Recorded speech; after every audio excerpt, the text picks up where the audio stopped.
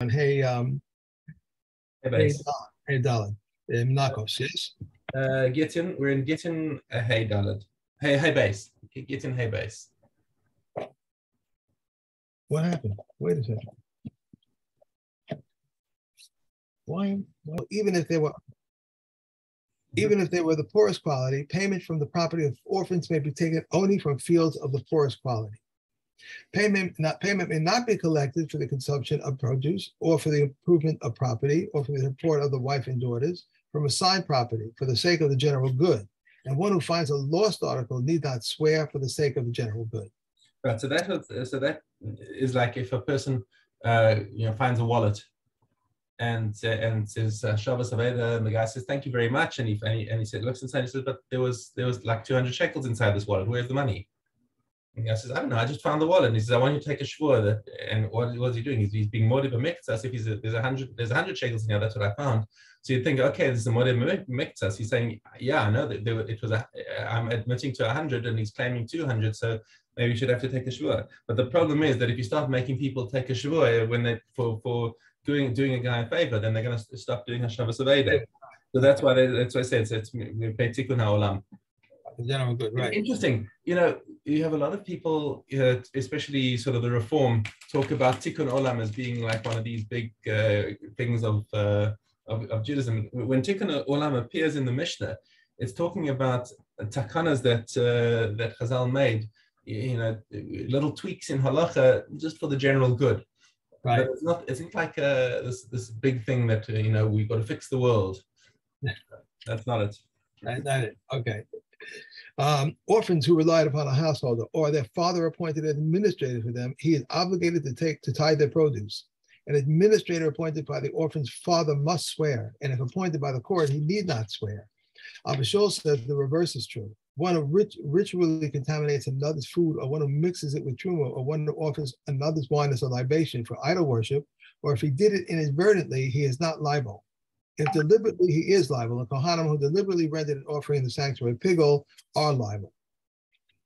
Okay. Right. So just that, that last thing is that when, when, when somebody does a nezik that's not visible. So for example, you make something tame or you make it asur b'hanaah because it's because it was used for avodah zarah. You, you can't see any difference in the object. It doesn't now give us a big red label on it saying uh, you can't use this anymore. It, it's, it's not a visible nezik. So if somebody did this accidentally, they're, they're actually not liable for it. It's only if they did it deliberately. But Chazal said that we're going to punish them for doing it deliberately by making them pay. And the same thing with the Kohanim who accidentally do pigel, too bad. Deliberately do pigel, you pay. Okay. All right. All right. Um, Mishnah Hey Hey Rabbi Yochanan ben Gudgada. So this this Mishnah actually is uh, identical to the one that we see in Eduyos. So it should be quite familiar. So he he gave testimony on, on a few things and, and why is it here and sitting in Gittin? Because there's one there's one uh, clause inside what he's saying that's actually relevant to what we've been talking about. Okay, so Rabbi Yochanan ben Gudgada gives testimony. This is what he learned from his uh, from his rebellion. Okay, a, um, a deaf mute girl whose father accepted kiddushin on her behalf. Um, okay, shehi yotz abaget that she may be divorced with a with, with a get in the normal way. Right? Mhm. Even though she, her, her marriage is daraisa, because her father can accept kiddushin on her behalf, she can nonetheless accept the get. Why? Uh, okay, but al katana bas Yisrael she kohen. Similarly, a um, an, an Israelite girl who was married to kohen shecheles b'truma, but she is allowed right. So she is uh, so since since she was. This is talking about um, even in a case where her uh, her marriage is drabanan, which, uh, um, sorry, just uh, I, I, I was I was going to skip over the previous one. Let me just not skip over the previous point. Um, with the, the case of the the Hareshis, the um, who whose father accepted kiddushin on her behalf. She Okay. can be divorced. She can be divorced with a get. Why? Even though she's a Hareshis, her acceptance of the get is uh, is not is not a necessary thing because a woman can be divorced against her will. Sorry. Pre pre Gershon, and the Mishnah is pre Gershon, a woman could be divorced against her will, so she doesn't have to accept the get. That's her problem. She doesn't want to accept it. Okay, it's only Rabbeinu Gershon who brought about the issue of a Masarev a Mas- get, where where the woman refuses to accept the get because at the same time as he said that a woman that a man cannot take more than one wife and that she uh, that uh, the woman cannot be married again. Uh, um, he made a whole bunch of uh, of, of haramim, and one of them is that the woman has to be has to accept her get. Okay, but the Mishnah says that uh, it tells us that that even though the woman or, uh, cannot is not mentally capable of accepting her get, it doesn't matter; she can still be divorced. A, a, woman, a woman, a woman must accept the get. That, that's Rabbeinu Gershon. Right. Okay. Okay. Mishnah, the woman, the woman doesn't have to be uh, mentally capable of accepting her get. Okay, but if she is mentally capable and she still says, "I don't want this get," I'm not accepting it. In the in the Mishnah, it doesn't matter. No, okay. It doesn't matter. It's nowadays that that we have Rabbeinu Gershon that a woman can refuse a get. In the same way as a man can refuse to give a get, a woman can refuse to accept a get. But that doesn't that makes more. I don't know what that's going on here. But that but that's more problems for her than for him because he can still. After left after maybe she doesn't want to get married again. Maybe she's got her children, um, and there are. I mean that it's a real thing today. You have right. men who are Musar get, and mm-hmm. as a matter of fact, there's one very prominent person. Have you heard of the singer Shuli Rand? Yeah, I have. I have. I, I think so. Shuli yeah, Rand. So Shuli Rand's first wife uh, was uh, was Masareva's uh, get. She he wanted to divorce her. She refused to accept the get for whatever reason. She was vindictive or just uh, didn't. Uh, you know, she she had she had the children that she wanted, and she didn't want to remarry, and she just uh, wanted to make trouble for him. So he went around um, the world, getting a hundred signatures of Rabbanim, giving giving him permission to take another wife. Wow because that was also built in. That is also built into Rabbeinu Gershom's cherem that if a woman refuses to to accept a get, the man can get uh, can get to heter rabbanim. And it has to be hundred. That's the number they set up. So so the, so the same so the same Rabbeinu Gershom who forbade polygamy right. says, says he's allowed that if if if uh, if he gets hundred signatures of rabbanim, he's allowed to take an, an extra wife. So I don't know if in the end she she accepted the get rather than just uh, allowing him to live with another woman. Uh, but, uh, Traveling around the world to get those get the signatures probably costs more than the alimony. I could think. You know. Anyways. Um, anyway, okay. All so, right. Um, so next, Ala Ketana Bas Yisrael the Kohen. So now the a, a minor girl of, Bas Yisrael who's married to a Kohen, and she was married Duraban. So for example, she's an orphan and her mother and brothers gave her in marriage to the to the Kohen. So that's so this is a case of of, of a marriage to Rabbanan. Now she's allowed to eat truma. What truma? We're talking about truma Rabbanan. Okay, because because being that on the Daraisa level, she's still Israelis. She's not really married to him.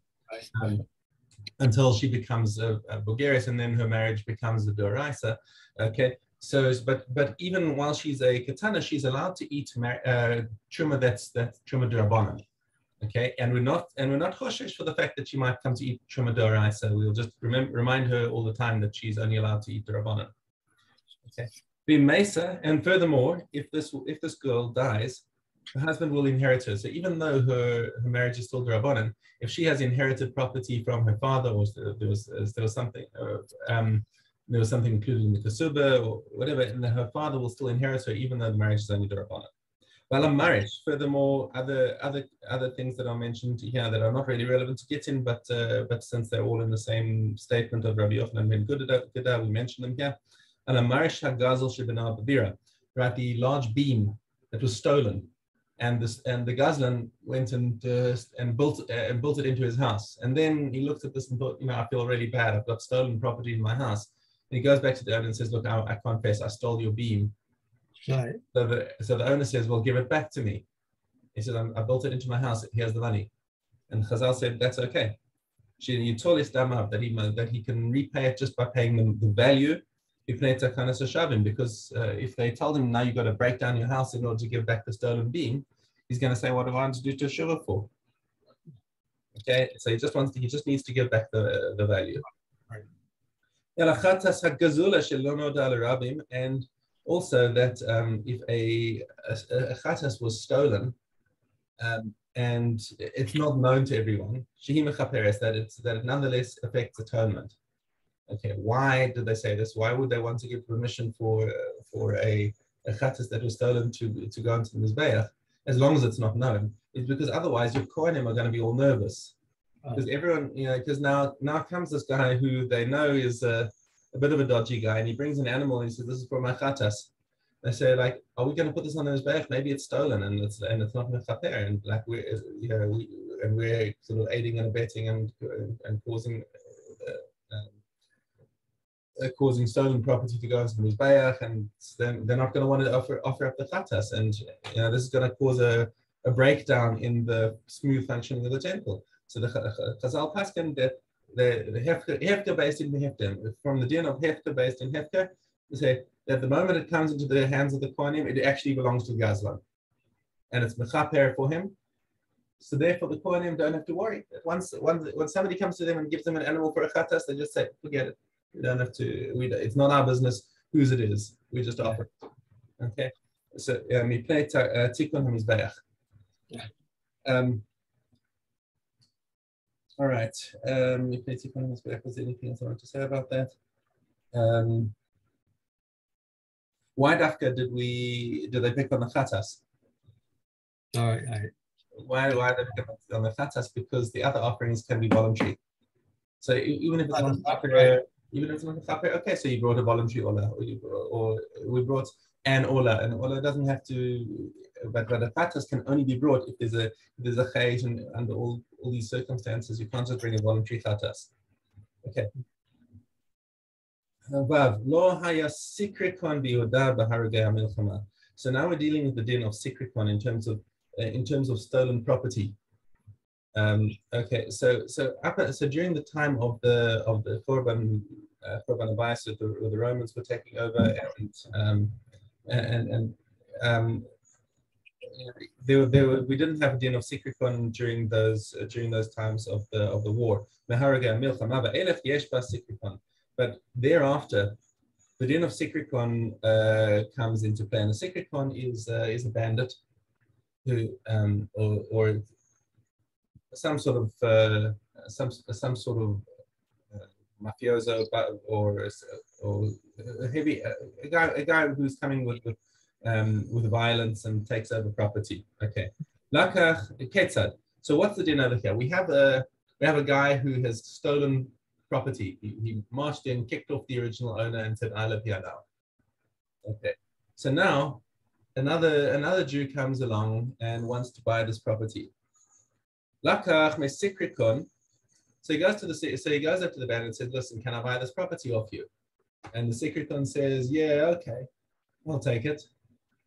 So so so he, he gives the money to the sikrikon, but now he's got the Jew. He knows that the that there was another Jew on the property, and he says, "Listen, I'll pay you. I'll pay you for it too." So he goes to the balabais and says, "Yeah, here's some money for the for this property as well." Mikro. As soon as the sikrikon is gone, and the and the and the Jew he gave the money to comes to Din and says, "I want my property back." Din will tell him, "Yeah, give him back the money," and the property goes back to the original owner. Why?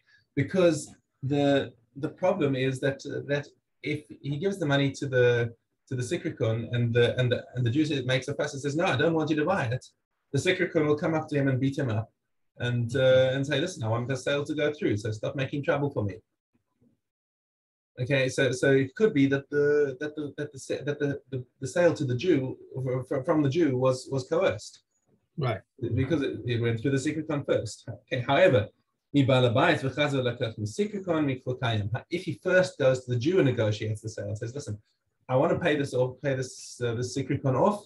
But first, I want to make sure that it's that it's clear with you.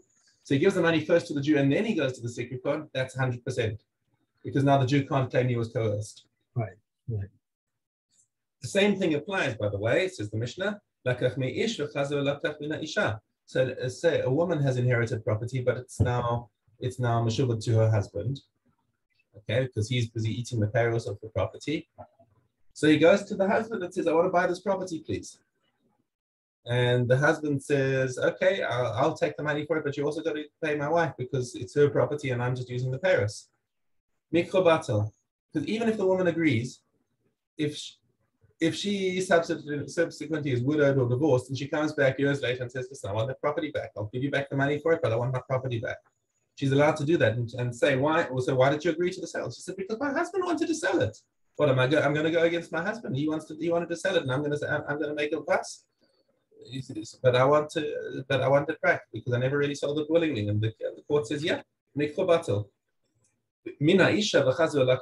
However, if he first negotiated the sale with the wife, and only afterwards came to the husband, Mikro Kayam. So, for the same reason as we said at the Sikrikon, she can't now claim that she was coerced. Rishona. This, however, is the original girsa of, of, of our deal with the Sikrikon. Beis din Shalacherim, Amru, uh, later beis din Cayman, said, rather, Halokach Sikrikon nosen lebalim rubia. They, they, they, he, he's allowed, the, the person who, who purchases from the from the Sikrikon directly may take a quarter of what a, quarter of the of payments and give it to the to the owner because they reckon that the Sikrikon is prepared to take a quarter a 25% discount on the property just because you know he stole it. Well, so he's, he's fine to take a, a lesser price than what it's worth because it's all profit to him. Okay, so they estimated that, that, that, you can underpay the secret Sikrikon by, by a quarter, and that quarter must now go to the to the Jew who had it stolen off him, and that's it. He can't complain anymore. Why did they do this? Because they wanted um, they, they didn't want the property to remain in the hands of the goyim. They wanted it to come back to Jewish hands. So they so they gave an incentive to for people basically to redeem the property and give a little bit to the to the to the Jew who had it stolen. Amasai, when is this so? Bisman she'ain biyadan likach. That's only if the original owner doesn't have the doesn't have the wherewithal to buy it. Then the original owner has precedence. They, have first right of refusal um, to, to, to buy it back from the Sikrikon because we still want property to remain in the original hands of the owners. Wait, I'm, I'm confused on something. I'm not following. The, the owner doesn't have the money to buy. Is that what you said? Only if, so this, this, this, yes, this later takana only applies when the original owner doesn't have the wherewithal to buy it back. But if he does have it and somebody else comes before him, he doesn't he doesn't get uh, then, then the owner is the one who's, who's entitled to keep the property. He can say to the owner, okay, thanks very much for purchasing it back from the from the Sikrikon. Here's your money, give me back my property. Okay, because he, he he can gazump the uh, that's that's the term they use for it in England. I don't know if you've heard that before. No, um, talk, but gazumping is like a sort of knocking somebody out of a deal I never heard that. Out of a property deal. Right. Um, about uh, I think uh, Rabbi Rabbi Hoshi beis din Venimnu. So this is Rabbi Yehuda Hanasi. He he had a beis din that came and ruled. If the property stayed in the hands of the Sikrikon for 12 months, then whoever comes to, to purchase it from him uh, comes first not in the but he can, but he still gives a, a, quarter of the value to the original owner. So even if the owner, so, so therefore, even if the owner has the wherewithal, but he delayed by 12 months to redeem his property, nonetheless, whoever then whoever comes first gets to gets to keep the property. Okay, we good? Good. Mishna Zain. Cheresh, Romez Venirmas. So when a Cheresh um, wants to marry a woman, so we're talking about on a Durabanan level, he can't he can't affect a, a marriage on a Daraisa level, but he can affect a marriage on a Durabanan level. So how does he do it? By sign language. Rome is the nirmaz.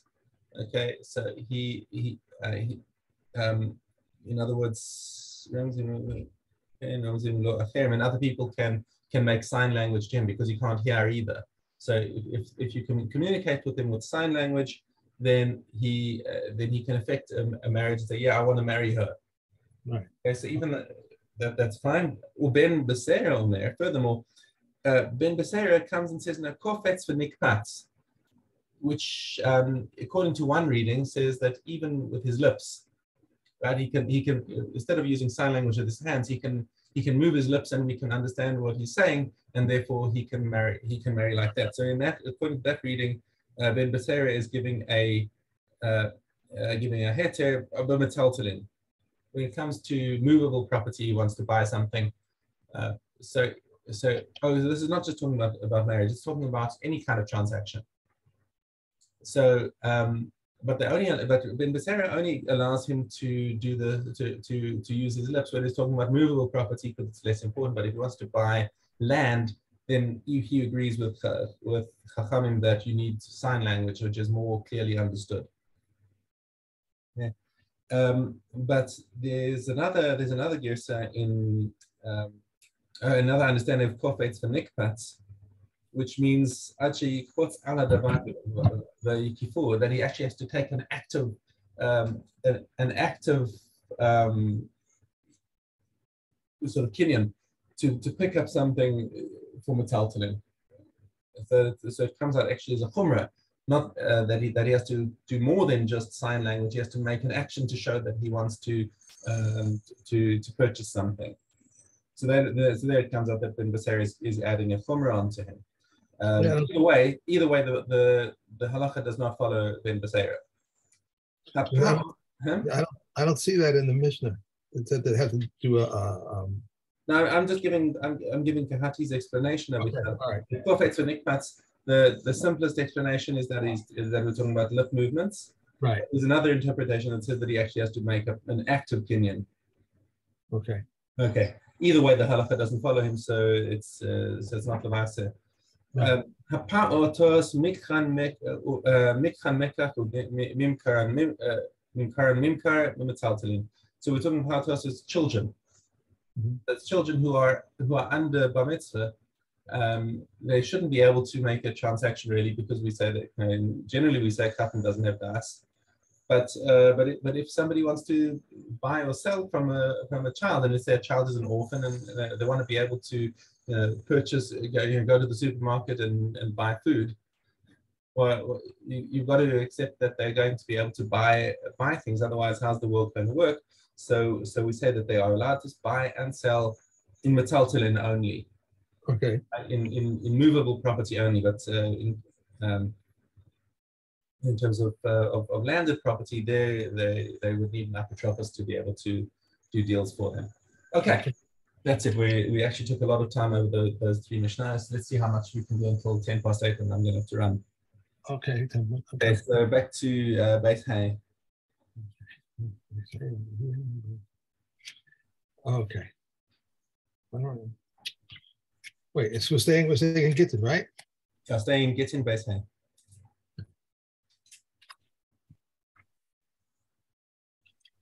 Uh, um, uh, uh, all are qualified to write a get, even a deaf mute, a mentally deranged person, and a minor, uh, and a minor. Uh, a woman who may write her own get, may a man may write his own receipt. For the validity of the document is dependent upon which those who sign it. All are qualified to bring a get except a deaf mute, mentally deranged person, a minor, a blind person, and a Gentile. If a minor received it and then became of age, or a deaf mute and then he became able to hear, or a blind person he became able to see, or a mentally deranged person and he then became sane, or a Gentile and he became a proselyte, he is not. It is not valid. He is not valid. However, if it, if it was if it was a hearing person who received it and then became a deaf mute and he regained his hearing for a seeing person, and he then became blind and then regained his sight, or for a same person, he then became mentally deranged and then regained his sanity, he is valid. This is the general rule. Anyone who is mentally incompetent at the beginning and at the end is valid. Even those women who are not trusted to say her husband died are trusted to bring her get. Her mother-in-law, her mother-in-law's her mother-in-law's um, daughter, the co-wife, her husband's brother's wife, and her husband's daughter. What is the difference between a get and a testimony of death? That the written document is evidence. The woman herself may bring her own get, and only she must say, It is written in my presence and signed in my presence. Okay, do you have to go? No, no, carry on. Nazir, Vav Yud. Okay, Nazir. Okay. Uh, come on, get over here.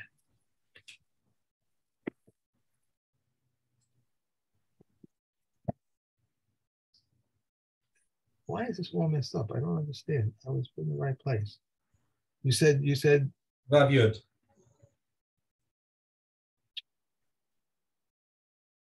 Okay. Um, this is all messed up. I don't know what I did. I had it all straight. Love you. 510, right? No. 610. 610. If he shaved his head following the sacrifice and it was found to be valid, invalid. His shaving is invalid, and his sacrifices do not count for him. If he shaved after a sin offering, which was slaughtered, but not for his designated purposes, and then he brought his offering for that designated purpose, his shaving is valid, and his sacrifices do not count for him. If he shaved after the burnt offering or after the peace offering, which was slaughtered not for the designated purpose, and then he brought his offerings for the designated purpose, his shaving is invalid and his sacrifices do not count for him. Reb Shimon says the sacrifice does not count for him, but the other sacrifices do count for him. If he shaved after all three and one of them was found to be valid, his shaving is valid and he brings the other sacrifices. Someone for whom the bloods of that has been thrown, and then he became Tameh. But Eliezer says he forfeits all. But the come and say he should not bring the rest of his offerings and become Tahor. And they said to him, It happened with Miriam the Tarbonite, uh, that one of the bloods had been thrown for her. And they came and told her about her daughter who was in danger. She went and found that she had died, and the sages said she should bring the rest of her offerings and become Tahor. A Kohen Gadol and a Nazir may not become tummy from contact with their relatives, but they may become tummy with an abandoned corpse. If they were traveling on the way and they found an abandoned corpse, Rabbi Eliezer says the Kohen Gadol should become tummy, but the Nazir should not become tummy. But the sages say the Nazir should become tummy, but the Kohen Gadol should not become tummy. Rabbi Eliezer said to them, the Kohen should become tummy since he does not bring a sacrifice for his tumah, but the Nazir should not become tummy since he brings a sacrifice for his tumah. And they said to him, the Nazir should become tummy, and since the sanctity is not everlasting, but the Kohen should be, not become tummy since the sanctity is everlasting. Okay, that's it. I got to run. Okay, I will see you tomorrow. Are you going to be pre pre probably? Uh, most likely, yes. Have a great day. Get some rest. Okay. Thank you. Bye. Bye.